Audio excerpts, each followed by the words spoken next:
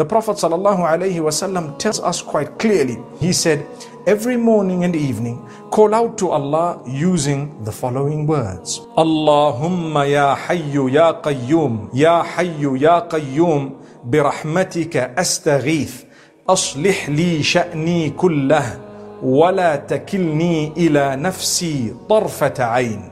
Teaching his own family a dua to call out to Allah every morning and evening.